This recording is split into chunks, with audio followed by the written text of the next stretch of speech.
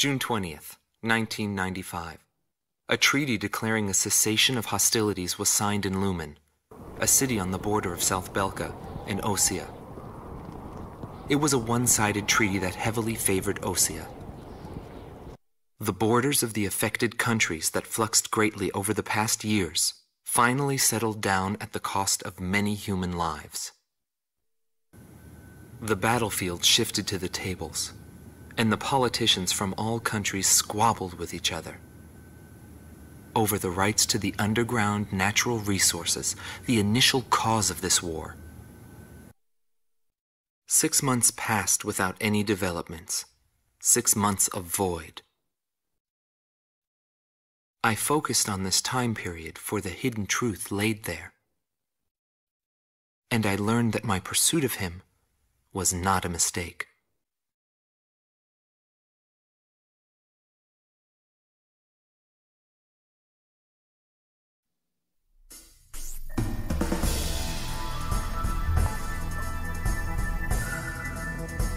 Top officers in the Belkan army have pulled a coup d'etat. Calling their organization A World with No Boundaries, the forces bombed the city of Lumen, where the cessation of hostilities treaty was signed, using a giant gunship codenamed XBO. Your mission is to pursue the XBO and... Wait! We've just received an emergency transmission from the control tower. Unidentified aircraft are approaching our base. Scramble all planes. Quick, there's no time. Get into the air immediately.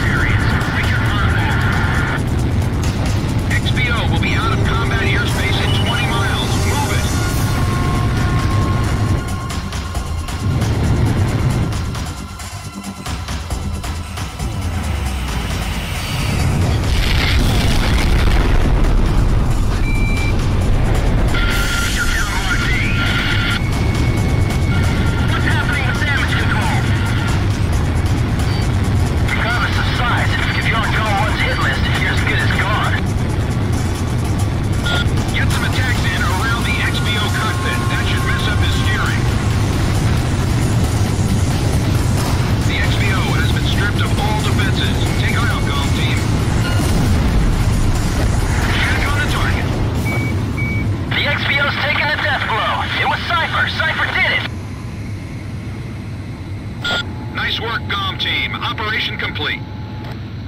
Our death is not the end of everything. The rest is up to you.